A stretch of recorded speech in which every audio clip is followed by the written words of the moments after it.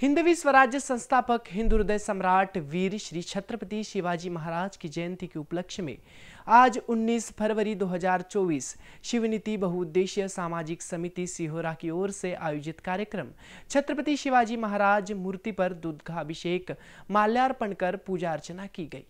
पूर्व सैनिक और सफ़ाई कर्मचारियों का सत्कार किया व सीहोर बस स्टैंड परिसर में महाप्रसाद शोभा यात्रा निकाली गई। शोभा यात्रा में तुमसर मोहड़ी, विधानसभा आमदार राजू गारे मोरे, इन्होंने अपनी उपस्थिति दर्शाई। साथ ही दिनेश तुरकर, कादर अंसारी, राहुल भावसगर सरपंच रुपेरा मौजूद थे और शिवाजी महाराज पर आधारित साहिल दर ने इनका शिव चरित्र संगीतमय व्याख्यान कार्यक्रम आयोजित किया गया। शिव चरित्र संगीतमय व्याख्यान में शिवाजी महाराज के जीवन के विषय पर रोशनी डालकर शिव भक्त के सामने रखे। इस कार्यक्रम को आयोजित शिवनीति बहुउद्देशीय सामाजिक समिति सिहोरा के शिव भक्त अर्णव कावड़े एक नाथ बनकर, रोहित पराते, अजिंक्य उके, डेविड धकाते, उज्जवल चौधरी, सुनील निमजे, कृष्णा राउत, शांतनु भैरम पीयूष राउत और अन्य ने मिलकर सफल बनाया।